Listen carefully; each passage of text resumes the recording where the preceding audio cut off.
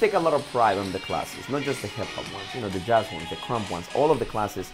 Every single class that we offer right here is drop in. Whoever wants to dance will come to dance.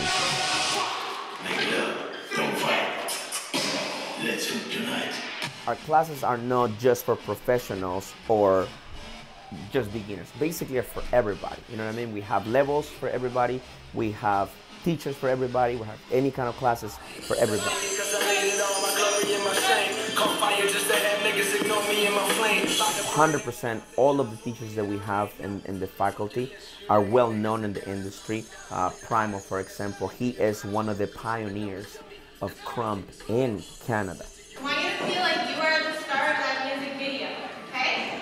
So you are electric. So I think it's important that dancers be versatile um, and learn as many different styles as they can because you never know what you're gonna fall in love with.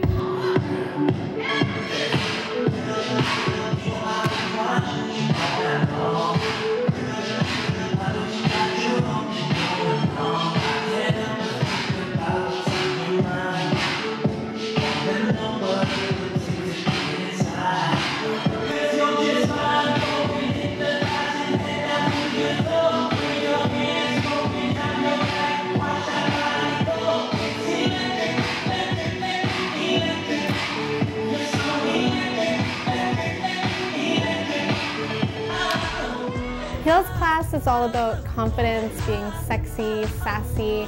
I always try to, no matter what, just have fun with the classes. Everyone wants to feel sassy and sexy, so even as you saw, boys come to the class and they give it the fierceness that the ladies do. I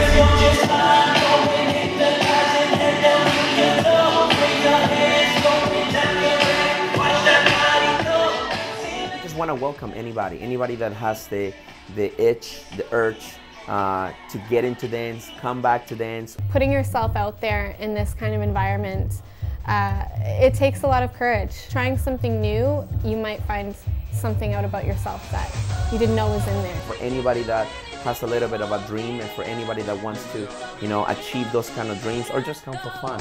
Just come in, come to OIP, you know, have fun, dance, train, train to perform or train for fun.